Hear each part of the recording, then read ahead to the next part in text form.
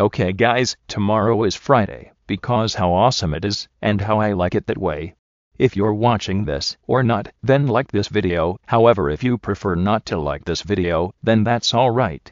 So mark your calendars, and if you don't have one, that's fine.